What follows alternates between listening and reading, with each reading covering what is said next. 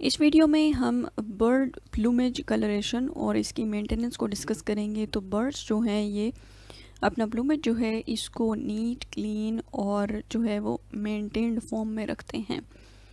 ठीक है? तो ये किस किस तरीके से होता है? सबसे पहला प्रोसेस है प्रीनिंग।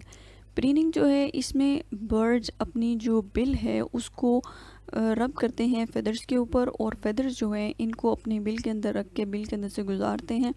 और जो फेदर्स हैं, इनको अपनी पोजीशन पे रखते हैं।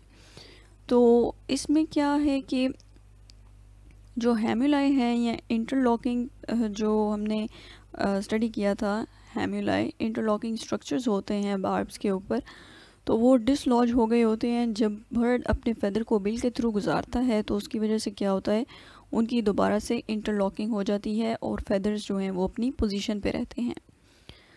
प्रीनिंग में एक दूसरी चीज़ जो है दैट इज़ यूरोपीजियल ग्लैंड जिसको हम प्रीन ग्लैंड या ऑयल ग्लैंड भी कहते हैं, और ये बर्ड्स की जो टेल है, उसकी बेस पे मौजूद होता है। जैसा कि आप इस फिगर में भी देख सकते हैं कि ये जो आपको नज़र आ रहा है, ये प्रीन ग्लैंड है, जिसको हम यूरोपीजियल या ऑयल ग्लैंड भी कहते हैं। बर्ड्स बेसिकली क्या करते हैं कि अपनी जो बिल है, इसको रब करते हैं इस ग्लैंड के ऊपर, जो ऑयली सिक्रेशंस होती हैं, उनको फिर अपने फेदर्स के अंदर जो है वो स्प्रेड करते हैं, जिसकी वजह से इनके जो फेदर्स हैं, ये लुब्रिकेट हो जाते हैं। सिक्रीशंस जो हैं, ये प्लूमेज को वाटर रिपेलेंट बना देती हैं। नेक्स्ट एक बहुत इंटरेस्टिंग प्रोसेस है बर्ड्स के अंदर, जिसको हम कहते हैं एंटिंग एंटिंग एक ऐसा प्रोसेस है जिसमें जो कि सॉन्ग बर्ड्स जो है, इनमें कॉमन है, और इसमें ये बर्ड्स क्या करते हैं कि अपने फेदर्स को फैला के कोई भी एंट हिल जो है, इसके ऊपर जो है वो बैठ जाते हैं और फोर्स करते हैं एंड्स को कि वो इनकी बॉडी के ऊपर जो है वो आ जाए।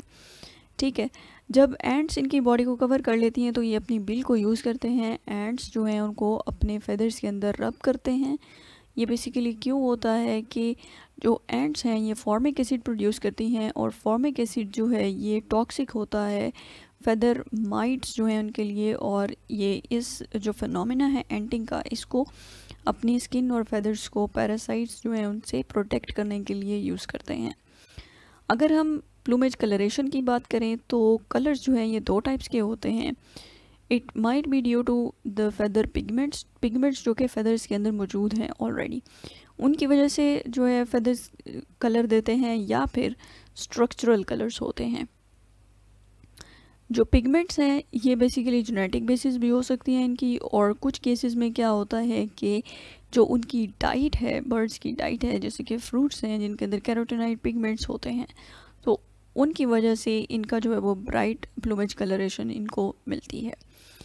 नेक्स्ट अगर स्ट्रक्चरल कलर्स की बात की जाए तो स्ट्रक्चरल कलर्स जो हैं, ये बेसिकली जो फेदर सरफेस है, इसके ऊपर इरेगुलरिटीज़ की वजह से जो लाइट डिफरेंट वेवलेंस की डिफरेंट एंगल्स पे रिफ्लेक्ट होती है, उसकी वजह से जो कलर्स हमें नज़र आते हैं these are because of structural colours ठीक है? और जो आपको ब्लू फेदर्स नज़र आते हैं these are not due to the presence of blue pigment in the feathers ये जो है बार्ब्स इसके ऊपर एक porous non pigmented outer layer होती है, जो कि ब्लू वेवलेंथ की लाइट को रिफ्लेक्ट करती है, इसकी वजह से हमें जो है वो ब्लू कलर नज़र आता है।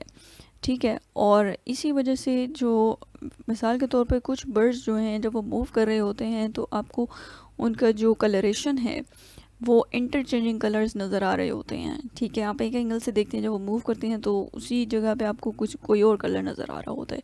इस फिनोमेना को हम कहते हैं इरीडिसेंस इरीडिसेंस जो है, ये बेसिकली किस वजह से है? ड्यू टू द रिफ्लेक्शन और diffraction of light at different angles light जो है वो डिफरेंट वेवलेंथ की लाइट जो है जब रिफ्लेक्ट बैक होती है तो आपको डिफरेंट कलर्स नज़र आ रहे होते हैं। और ये क्यों होता है? क्योंकि फैदर की जो सरफेस है, उसके ऊपर इरेगुलरिटीज़ होती हैं। नेक्स्ट ये जो इरिडिसेंस का प्रोसेस है, ये मोस्टली जो है हमिंग बर्ड्स में होता है।